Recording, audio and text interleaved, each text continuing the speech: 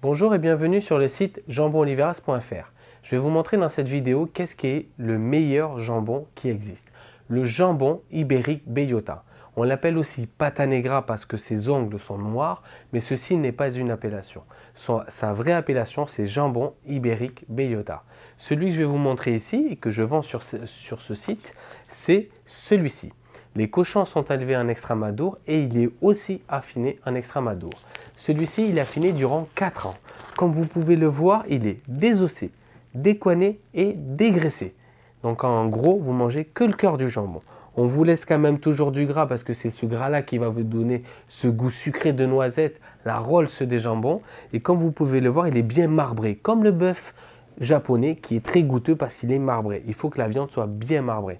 C'est un jambon de 4 ans d'affinage fait en extramadour. C'est du caviar. Vous allez avoir du mal à pas en manger tous les jours et avoir du mal à pas vous lever la nuit pour aller le manger.